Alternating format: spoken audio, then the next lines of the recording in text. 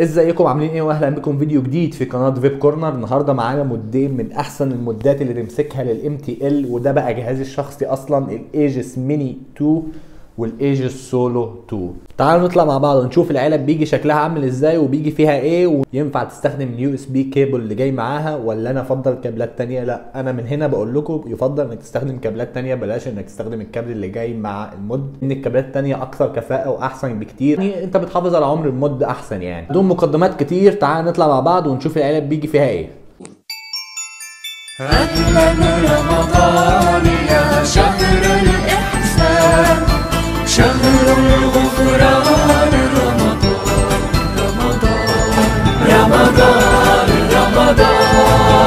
وادي التلات علب التلات علب Aegis Mini Solo Mini silver gray classic black التلات ألوان بتوعهم. التلات ألوان اللي اتوفروا معايا يعني. أكتر تلات ألوان متميزين جدا. هنفتحهم ونشوفهم مع بعض. اللون ال black معايا هنا جوه في ال mod هنا. لكن أنا برضو هعمل له unboxing سريع كده. هنعمل انبوكسنج للسولو 2 والميني 2 السيلفر والجراي وهنعمل استعراض للتلاتة مع بعض عشان نشوف ألوانهم. يلا بينا نبدأ. نفتح علبة ال silver 100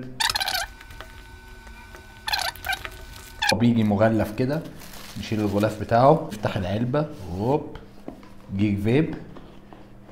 نفتح أوه ها هو اللون ال silver الشيك قوي قوي قوي بتاع ال Aegis Mini 2 ده أول مرة يتفتح الوقت قدامكم أنا أول مرة أفتحه.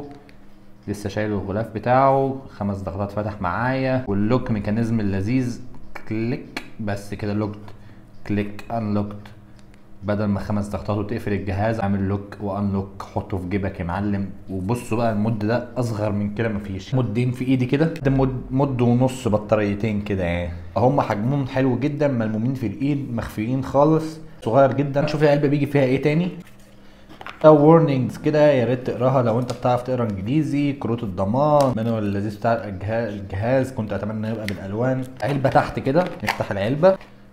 USB-C عشان تشحن بيها ال mod وأنا ما انصحش بصراحة إنك تستخدم اليو اس بي دي. لو عندك يو اس بي سي عندك أفضل يا ريت تستخدمها بلاش تستخدم ال USB دي. علبة السولو 2 أو ال S100 نفتحها مع بعض كده. علبة أكبر بحجم ملحوظ يعني أكبر بكتير. وده اللون ال gray اهو. ال screen بتاعته اتبهدلت شوية. هو بيجي عليه screen protector. ال screen ال protector اتبهدلت شوية. أنا حاطط جواه بطارية already يعني. بس ده بقى حجمه اكبر شوية في الايد يعني. أنتوا لو تيجي تقارنوا الاتنين ببعض كده هتلاقي ان السولو حجمه اكبر شوية بحبة حلوين يعني مش بحبه صغيرين. فعلا ال mod ال Solo أكبر شوية. بيجي معاه نفس. نفس اللي في علبة الميني فبالتالي مش هنعمل unboxing تاني لأن الموضوع هيبقى ممل. آه، آدي سولو وآدي الميني تعالوا مع بعض نشوف إزاي تسوق الاثنين الاثنين نفس المنيو الاثنين نفس الوضع. اللي إحنا اللي هنعرف نعمله هنا هنعمله هنا في نفس الوقت بنفس الطريقة بنفس التغيير كل حاجة في المنيو وقت المنيو إزاي بقى؟ عندك click من الجنب كده يعمل lock تشيله ترفعه تاني يعمل unlock واحد اتنين تلاتة. النور اللي فوق ده ينور كده تغير تضغط على ال plus وال minus مع بعض يقلب في الألوان أو تقلب في المنيو بتاعه TC stainless steel TC TCR ال curve mode ال bypass اللي بيجيب آخر ما في البطارية محدش يستخدم ال mode ده. لو أنت بتستخدم تنكات أنت مش عارف أنت بتعمل فيها إيه. يعني أنت لو مش فاهم ال bypass بيعمل إيه بلاش تستخدمه. ووضع ال power العادي بتاعنا. ننزل تحت مقاومة. وال puffs اللي انت خدتها تحت إيه ممكن تقلبها تعمل reset لل puffs يرجع تاني فوق ولا أي حاجة تاني ضغطة طويلة وترجع زي ما انت. الجهاز بيتشحن ب USB-C من فوق هنا وعايز أقول لكم إن الجهاز خفيف بطريقة تضحك يعني. الجهاز فعلا حجمه خفيف قوي قوي قوي تعالوا نقارنه بال Aegis Mini 1 طبعا ده ال Aegis Mini الخاص بيا اللي شاف معايا أيام مر بصراحة وأظن واضح على الحالة بتاعته. يعني هتحس إن الشكل الجديد modern أكتر. الحوار الكليكايه اللي من الجنب دي أحسن شوية. البطارية زادت 300 ملي أمبير هنا 2200 هنا 2500 زي ما هو مكتوب تحت هنا. 2500 ملي أمبير. الشاشة بقت بالألوان بدل اللون السخيف الممل ده. شحن Type-C وده بيتشحن micro USB أعتقد إن الجديد يكسب بمراحل عن القديم رغم إن الخبطه في الاتنين كويسين جدا جدا. ولو أنت معاك ال mod ده أو ال mod ده هنيئا لك أنت معاك mod محترم جدا جدا لل MTL فقط. اللي فعلا الجهاز ده ما بيستحملش. ده ال Aegis Solo ده ال Aegis Mini ال silver وده ال Aegis Mini الاسود دول أحسن ثلاث ألوان بصراحة. تحفة ال silver تحفة الاسود تحفة. الثلاث ألوان جمال جدا بصراحة. على نفسهم في الخامات والحاجات اللي معمولة منها ال mod ده. سواء في السولو أو سواء في الميني. لكن أنا شخصيا هفضل ال built in battery فأنا هقترح إن أنت تستخدم ال Aegis Mini على أي مود ام تي ال أو تانك ام تي ال زي ال Siren بتاعي كده. أنا هركب ال Siren على ال Aegis Mini الأسود. أو ال Aegis Mini 2 يعني. هم شكلهم حلو جدا على بعض. أي tank أسود هيبقى شكله حلو جدا على ال mod ده. طيب شفنا إزاي ال mod بيتساق. تعالوا مع بعض نطلع ونشوف إيه رأيي فيه؟ إيه اللي عاجبني فيه؟ وإيه اللي مش عاجبني فيه؟ يلا بينا. زي ما انت شفتوا العلبة بيجي فيها حاجات بسيطة جدا. ال mod وال USB cable بس مفيش حاجة تاني. فتعالوا نبدأ بمميزات وعيوب ونبدأ بعيوب الجهاز ده. آه آه مم، يعني ممكن نقول كنت أتمنى إن هم يبعتوا الجزء ال rubber اللي فوق ده كله زيادة علشان لو دي اتقطعت ما اضطرش إن أنا أرمي ال mod أو إن هو يبقى مش ضد المية anymore يعني. كنت أتمنى إن هم يبعتوا الجزء ال rubber اللي فوق ده كله بحيث إنك تشيل المسامير وتحطه ولكن ده مش عيب يعني لأن هي صعبة قوي إنها تتقطع بصراحة. جهاز صغير شويتين زيادة. كنت أتمنى إن هو يبقى مسكته أحسن من كده يعني وإن هم يكبروه شوية علشان البطاريه تبقى أكبر.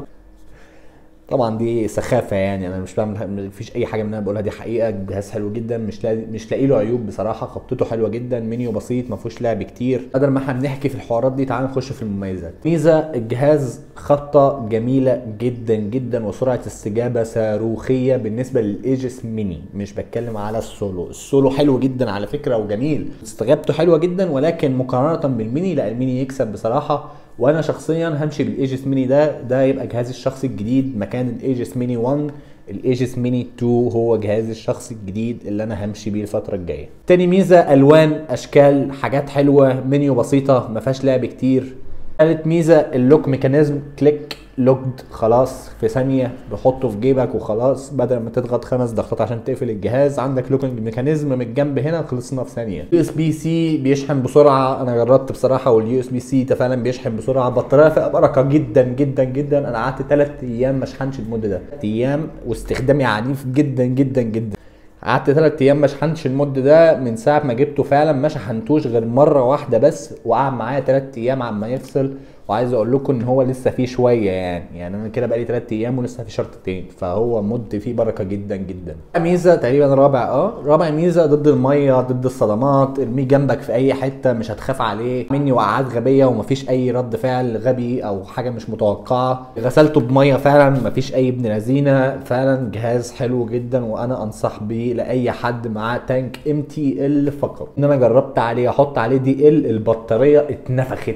مش اتفشخت يعني فاهم؟ يعني أنا بس جربت عليه كان على 60 واط مش كتير يعني. أقل من قيمة ساعة مثلا ساعة بالكتير قوي يعني. كان أقل كمان كانت البطارية زو فضت في ثانية على طول. هنصح بيه لأي حد معاه ام تي ال تانك ام تي ال حط ال mod ده في دماغك هيبقى mod جبار بالنسبة لك. سواء السولو لو أنت خايف من موضوع البطارية إن هي لو باظت تسوح والبطارية دي مش موجودة ومش عارف إيه بلاش شيل الهاجس ده من دماغك. وهات لك السولو 2 برضو جهاز حلو جدا واستجابته حلوة جدا. مش معنى كده إن أنا بقول إن استجابة ال mod ده وحشة خالص على فكرة. استجابة ال mod حلوة جدا. فلو أنت بتفكر تجيب mod جديد وأنت معاك tank MTL فده solution جميل جدا بالنسبة لك سواء ده سواء ده. الاختيارين حلوين جدا وأنصح بيه أي حد فعلا لأن هم شكلهم حلو. locking mechanism بطارية حلوة جدا منيو بسيط جدا. mod مش مش ممل بصراحة ف انت عايز إيه أكتر من كده؟ mod حلوة جدا وأنا أنصح بيه أي حد فعلا إن هو يبقى جهازه الشخصي مع أي tank MTL أنت تحبه على مزاجك. وبس كده شكرا جدا إن أنتوا كملتوا الفيديو للآخر. أتمنى ما أكونش طولت عليكم ويكون الجهاز ده بالنسبة لي هو الثورة الجديدة بالنسبة لي ده ال mod اللي أنا فعلا هستخدمه الفترة الجاية خلاص. والفيديوهات الجاية هتلاقوا ده موجود دايما. ان أنا هستخدم ال mod ده هو استخدامي الشخصي ال Aegis Mini 2 ال black لأن اللون ده عاجبني جدا. اتمنى ما اكونش طولت عليكم والفيديو يكون عجبكم و سلام